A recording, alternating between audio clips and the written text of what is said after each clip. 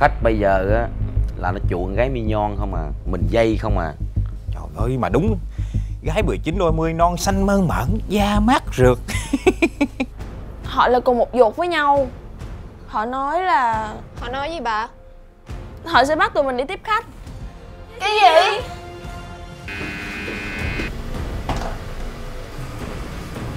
Nhanh đi bà Từ từ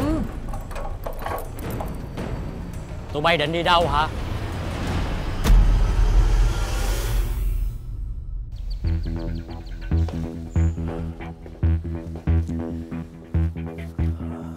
Làm gì mà nghe ồn ào dưới kia vậy?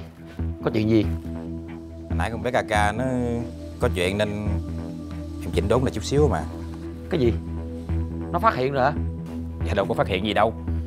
Hồi nãy con bé ca ca nó xuống bếp đang dụng Bị em thấy Nên em la rầy chút xíu nên nó hơi ồn ào vậy mà Chứ đâu có gì. Vậy thì tốt. Chú coi quản lý tụi nó cẩn thận. Dặn tụi nó ăn uống cho đàng hoàng. Giữ dáng giữ da ăn cho cố vô rồi mập thù lù ra đó rồi tuột giá là chết tôi à. Mấy cái chuyện đó anh yên tâm đi. Em lo xong hết rồi. Khách bây giờ á là nó chuộng gái mi nhon không à mình dây không à. Nói gì tới khách. Em nhìn mấy đứa đi Em còn ghiền mà. Trời ơi mà đúng. Gái 19 đôi mươi non xanh mơn mởn Da mát rượt. Ê ê ê ê ăn nói giữ mồm giữ miệng nghe chưa? Nghe chưa khách người ta nghe được là chết nghe chưa? Cái nào ăn ăn cái nào cúng cúng nghe chưa? Không đụng vô nghe chưa? Ừ em nói nói vậy thôi chứ. Em làm việc công tư phân minh đàng hoàng. Cái chỗ nào làm là làm Chỗ nào chơi chơi. Làm việc ở đây xong Muốn chơi đi chỗ khác chơi. Đâu có chơi mà xa cả vậy được. Vậy thì tốt. Anh quý chú mày là cái chỗ đó đó. Cho nên anh mới giao cho chú mày quản lý đó. Chứ nếu mà để anh quản lý thì Sao anh? chắc cũng cầm lòng nổi Ủa mà anh Anh tính chừng nào cho tụi nó lên sóng vậy? Tụi khách nghe nói đợt này có hàng mới hàng ngon. Xanh mơn mởn cho nên rất là háo hức. Anh tính là thứ ba này cho tụi nó chiến luôn. Coi á tập dượt tụi nó đàng hoàng. Tút tác nhân sắc đồ lại ok? Mấy cái vụ đó là ngon lành ừ. Cái điều quan trọng bây giờ đó là Em phải làm việc công tác tư tưởng với tụi nó mới được. Ê ê ê ê ê ê có làm công tác tư tưởng cũng phải kính kính vô nha. Đánh đập tụi nó cho cố vô rồi cuối cùng để lại vết tích. Rồi khách nó nhìn nó biết là nó ép giá mình. Hiểu chưa? Trời ơi em có chiêu của em hết rồi. Mọi chuyện cứ để Vũ Hải lo. Ok anh tin chú.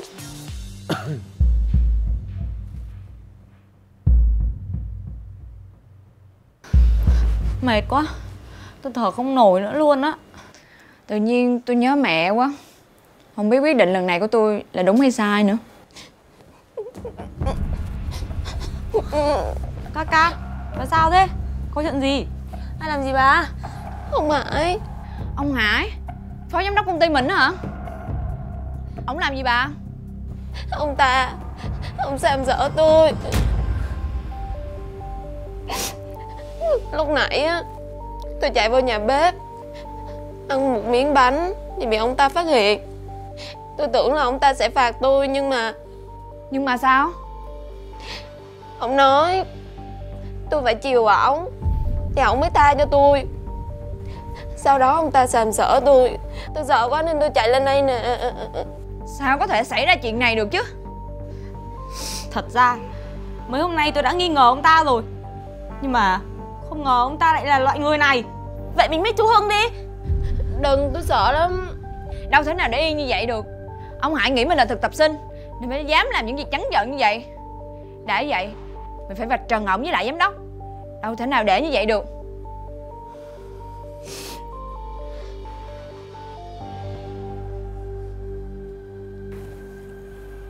Vô ích thôi.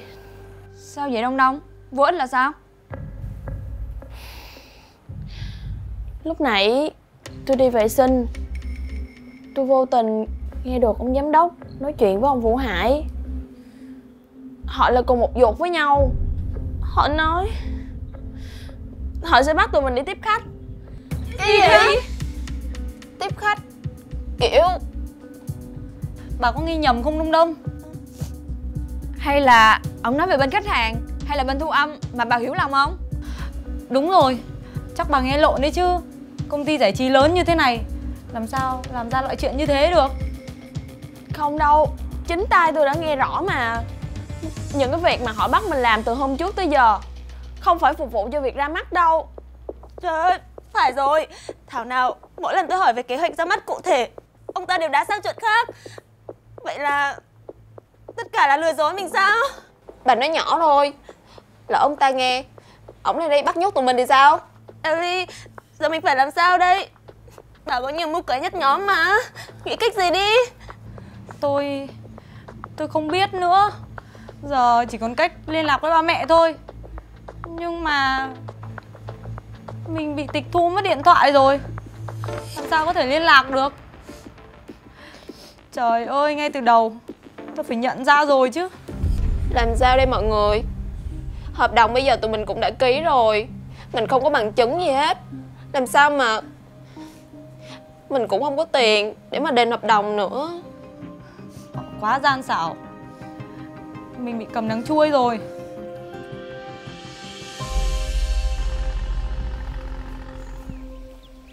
Hello mọi người. Đang làm gì đó?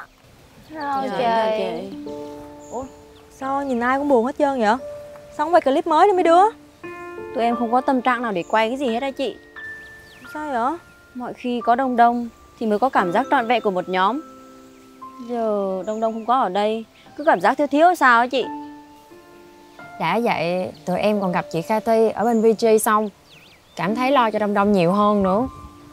Katie Ơ có phải là Katie ở công ty VG Entertainment đúng không em? Dạ đúng rồi chị. Tụi em gặp chị Cathy ở bên VG Chị có kể là hồi đó chị đầu quân cho Big Lion Nhưng mà phải bỏ của chạy lấy người. Mà công ty đó lại là công ty chủ quản của Đông Đông Nên tụi em càng lo hơn nữa. Ủa? Mà chị cũng biết chị Cathy hả? Chị có biết chị Katie đó. Tại vì trước đây là chị Katie đã từng có xích mích với công ty quản lý cũ á. Xong rồi cãi nhau, ầm ĩ, bung bét lên hết. Chi tiết ra làm sao thì mọi người không tiết lộ Cho nên là chị cũng chỉ nghe loáng thoáng qua thôi. Nhưng mà cũng ít có ai nói tốt về công ty cũ của mình lắm. Đúng á Là ăn cái nào thì rào cái nấy thôi. Tôi cũng hy vọng là vậy. Nhưng mà nếu không có chuyện gì Thì sao chị Cathy? Là phải sống chết rời đi chứ. Thêm nữa là sức khỏe Và tâm lý của Đông Đông không được tốt. Nên tôi càng lo hơn nữa. Thôi, giờ bà lo cũng đâu có ích gì đâu. Nghĩ tích cực lên. Lỡ may chị Cathy có lỗi, bị công ty đuổi Nên chị ấy nói như thế, đỡ quê thì sao? Bây giờ chỉ còn cách là đợi Đông Đông về thăm nhà Mình qua thăm bả thì mới biết được thôi. Đúng rồi, bây giờ tụi em á phải tập trung vào xây dựng kênh youtube của nhóm sắc nào nè Tụi em không định quay clip gửi tặng mọi người như đã hứa hả? Dạ, đúng rồi. Bây giờ mình lo quay clip mới cho kịp đăng Để mọi người đang hóng á. Đúng rồi, tinh thần phải như vậy chứ. Mirai, Nếp, chuẩn bị vô quay hình nha. Mọi người phấn chấn thế nào?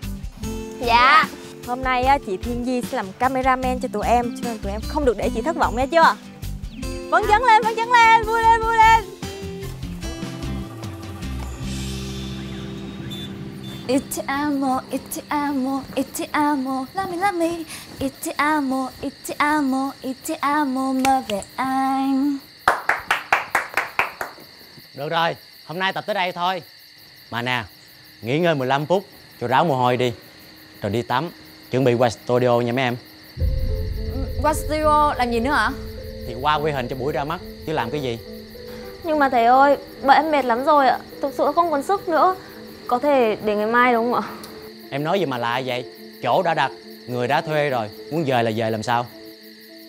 Nhưng mà tụi em kiệt sức rồi. Tụi em là phải tập luyện một ngày.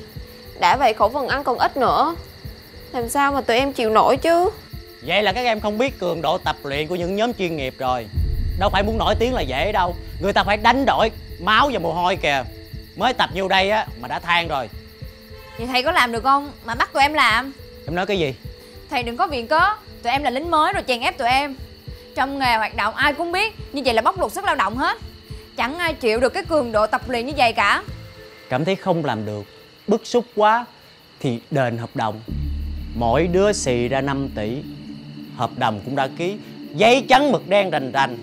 Còn nếu á muốn về nhà chăn ấm niềm im với ba mẹ thì cứ việc. Sao? Có đền được không không đền được thì trật tự mà nghe lời. Đâu phải muốn nổi tiếng là dễ đâu. Chi phí ăn uống tập luyện trang phục tư vấn truyền thông ở đâu ra? Ở trên trời rơi xuống cái gì? Ca ca, ca ca, ca, mày làm sao vậy? Sao vậy? Thầy ơi, ca ca mệt lắm rồi, cho bạn ấy nghỉ ngơi đi ạ. Bọn em sẽ đi. Vớ vẩn. Đi quay nhớ mà thiếu một người thì còn ra thể thống gì Ellie hồi nãy mới sinh tôi, rồi bây giờ tới cô. Các cô muốn bày trò gì? Do là nhịn ăn chưa quen, nên mới tụt quý gáp thôi. Từ từ rồi sẽ đỡ. Nè, ai có mệt thì ăn đi. Tôi không có rảnh rỗi mà chơi trò tiểu thư với mấy cô.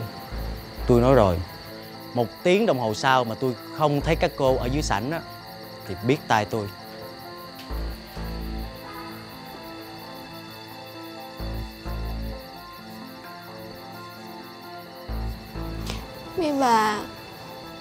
Tôi mệt quá à.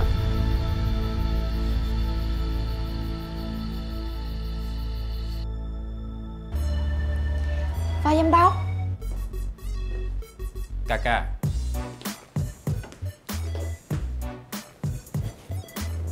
Tiệm anh có gì không? Anh có thể giúp được gì cho em? Dạ. Em chỉ muốn xin lỗi anh vì vụ việc lúc nãy Lúc đó tại em bất ngờ quá Cho nên là có hơi vô lễ với anh.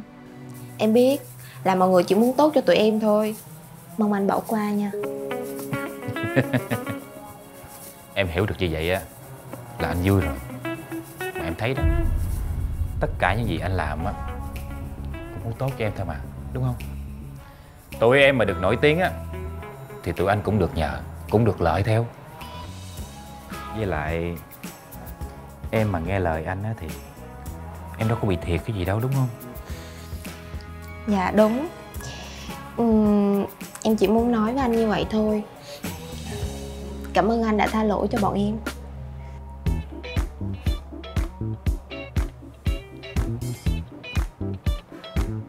Hẹn anh lần sau nha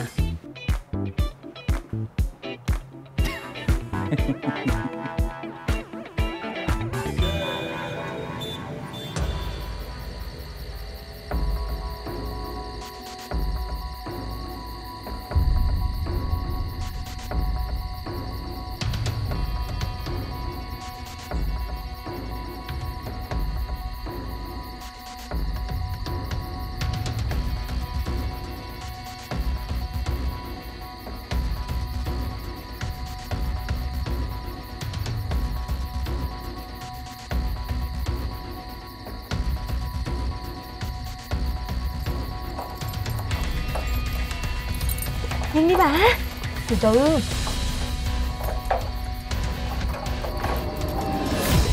Tụi bay định đi đâu hả?